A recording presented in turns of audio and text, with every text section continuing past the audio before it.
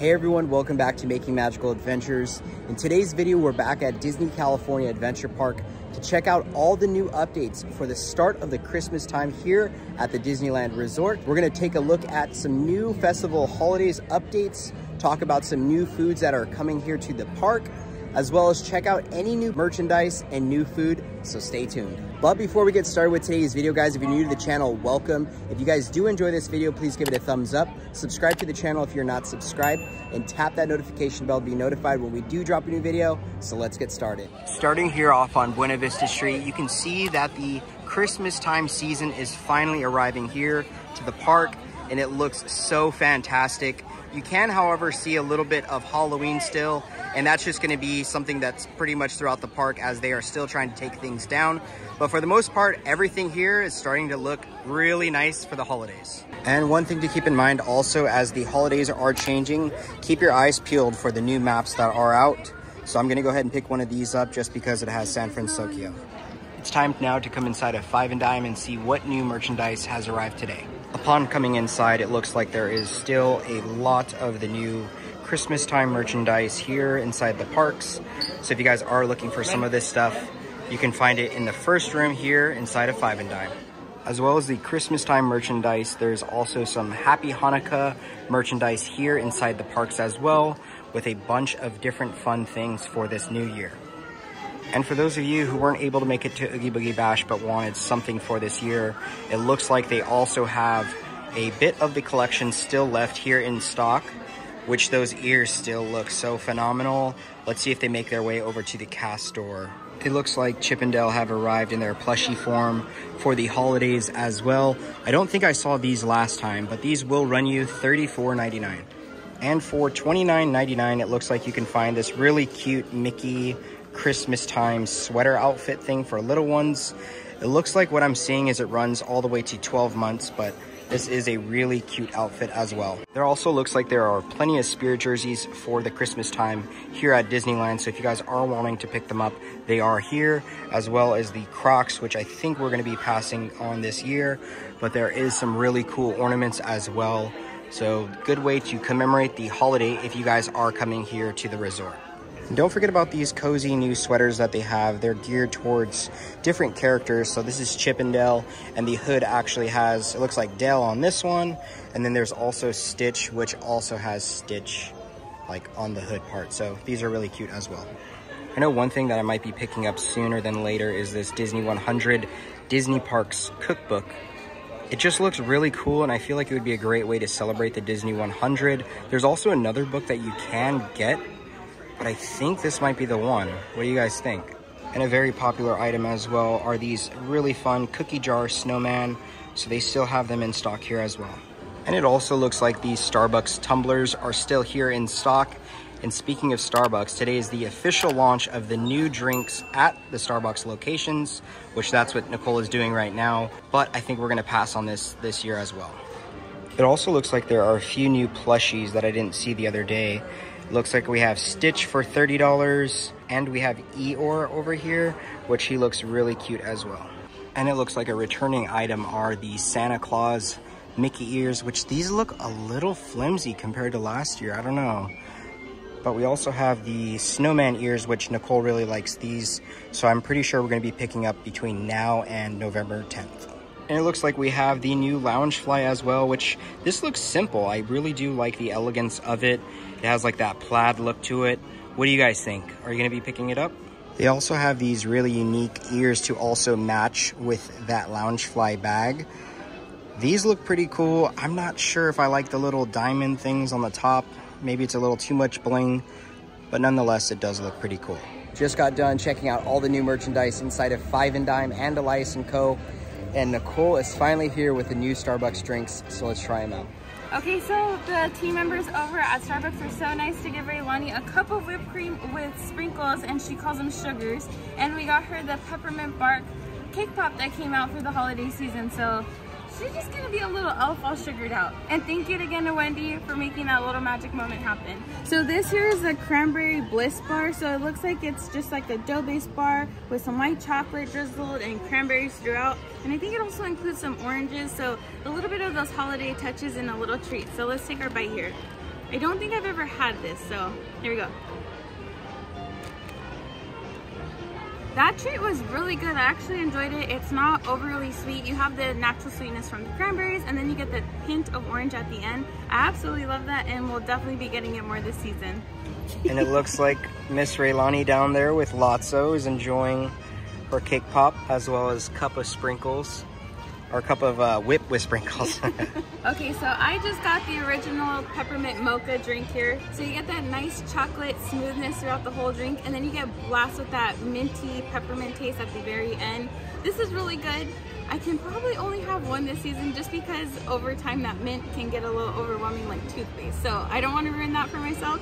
So this is a nice little treat for today. So Henry got the newest drink that came out through the whole entire holiday line.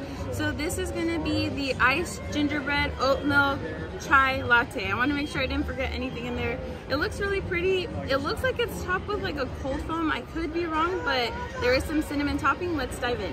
Nicole had to help Raylani with something, but I'm going to be trying this gingerbread drink. I'm actually really excited. So let's take our first sip.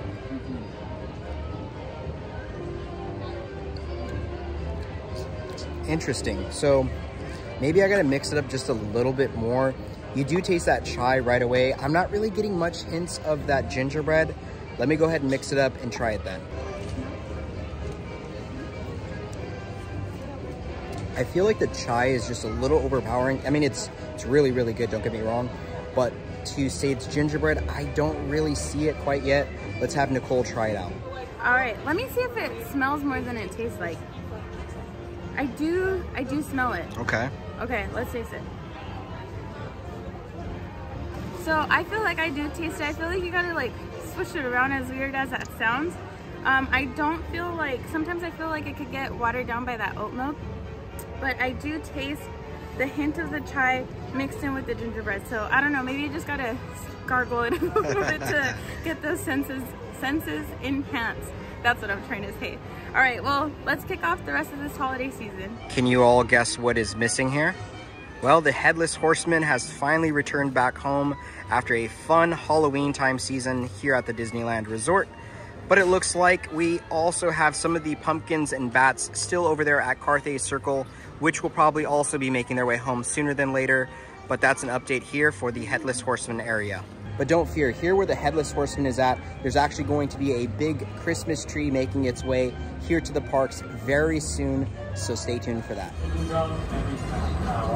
At the moment, it looks like Smoothies is still under construction, so let's see when that opens. But now it is time to make our way over here to the studio catering cart inside of Hollywood Studios. Now we're walking over here next to the studio catering cart, and it looks like it is finally transformed from the actual black truck back to the red one.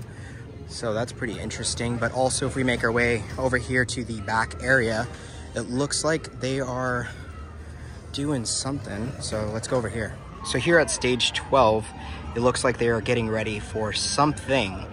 I am not too sure what this is. Let me know in the comment section down below. If you guys do know, it's probably gonna be some sort of like party thing I'm imagining, but yeah, that's new. Raylani really wanted to dress up as Lotso today. What do you guys think? I think she did a great job. Yeah.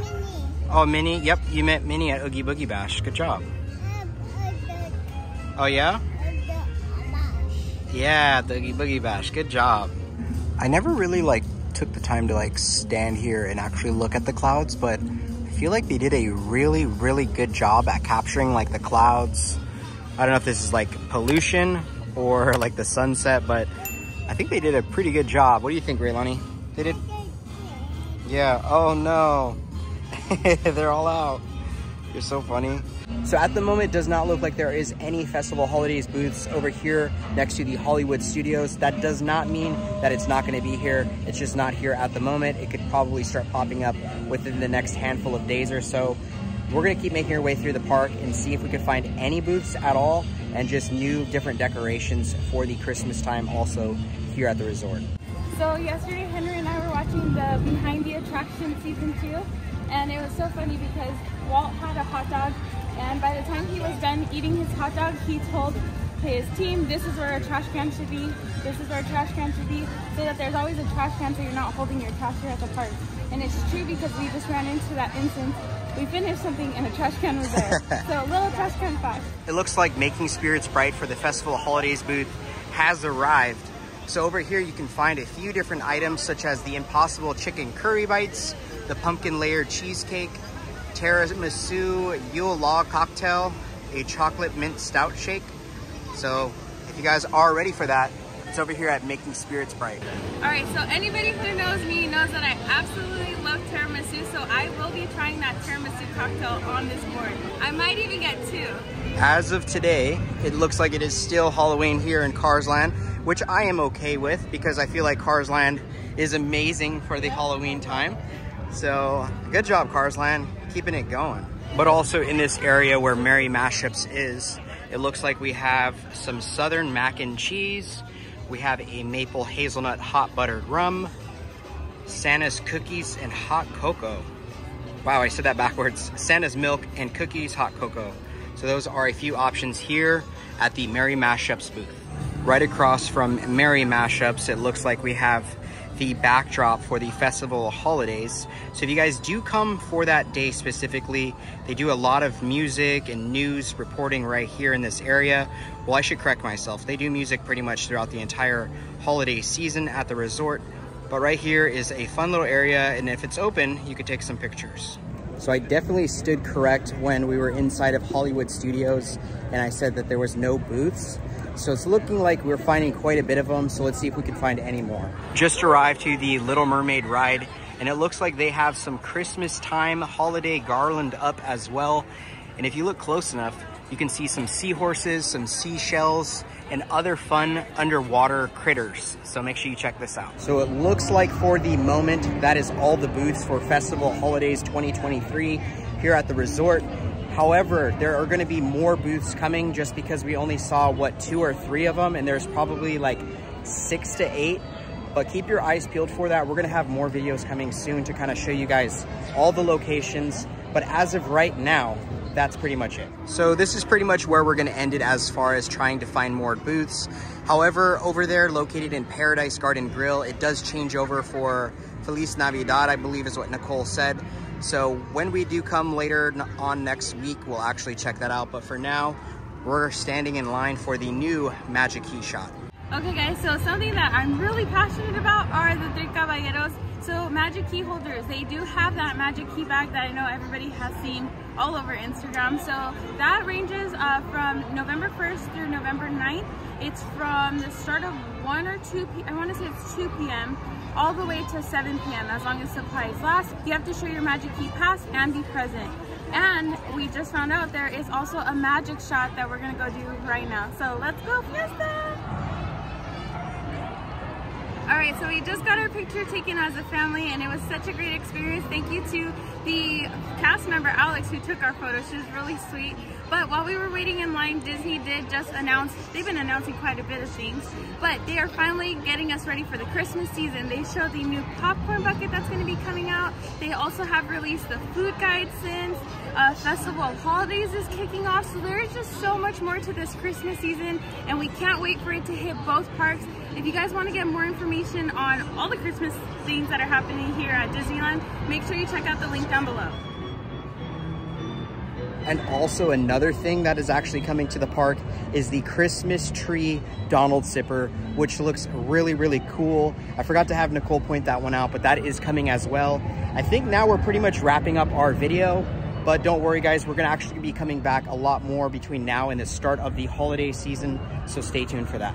So right in this area is actually where they're gonna set up the holiday booth for like the merchandise and stuff like that. So keep it in mind if you definitely wanna pick up any of the like festival holiday merchandise, it will all be right here. So we made our way here to Grizzly Peak and it looks like we have Winter Sliderland over here. And from the looks of it, just one of the items is returning, that being the beef brisket slider.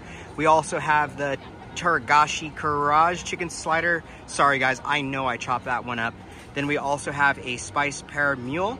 So these all sound really delicious and you can find them here at Winter Sliderland. Getting a little bit more inside of the Grizzly Peak area, it looks like we're finding a little bit more garland that's actually showing up on some of the poles. But our favorite is probably this way. and that's over here next to the Redwood Creek Trail where you can actually meet Santa. And if you guys have not done this before, we highly recommend it. It looks like the cast members are bringing stuff over here to get this area remodeled for Santa's workshop, which is always kind of like around the side and like back here, but it's such a fun experience if you've never done it. So it looks like my little pals over here at Rushing Rivers already have their Christmas sweaters on, their little Christmas lights, and the top of the store has a beautiful wreath. I just gotta say, Disney outdoes themselves with the wreaths every year. Did I say that right? Yeah. Anyways, I absolutely love all the Christmas that is just coming our way. It's definitely getting me amped up. So let's go check them out. All right, so I'm a little bummed out. We just got our pictures taken, as we said earlier, for the Magic Key photo op that they had, and it was supposed to be the three caballeros, but we got Jack Jack. So it wasn't our photographer's fault, but it's just a miscommunication on whoever kind of pasted that to the picture. Um, and I hope that's not happening to everybody else. So we'll try again a different week or a different day and see if we can get it on the next photo. So we're walking through the Redwood Creek area and by the Grand Californian, there's a tree here that has mason jars with these beautiful bows. And I don't think I've ever noticed that in previous years. It does look like the jars have like a lighting system, so I'm assuming at night they light up. And it's a cute little touch to add to the park. And right here next to the Soarin' ride, it looks like these trees are already decorated as well for the holiday time. They got some pretty big pine cones, some like tin cans, and some fun, I wanna say popcorn garland but make sure you check them out. All right, guys, so that wraps up today's video. Thank you guys so much for watching. Let us know in the comment section down below if you're gonna be coming either to Disney California Adventure Park or Disneyland for the Christmas time. We would love to hear. With all that being said, if you guys did enjoy this video, please give it a thumbs up. Subscribe to the channel if you're not subscribed and tap that notification bell to be notified when we do drop a new video. And like we always say, may always have a magical adventure. See you next video, guys. Bye. Bye.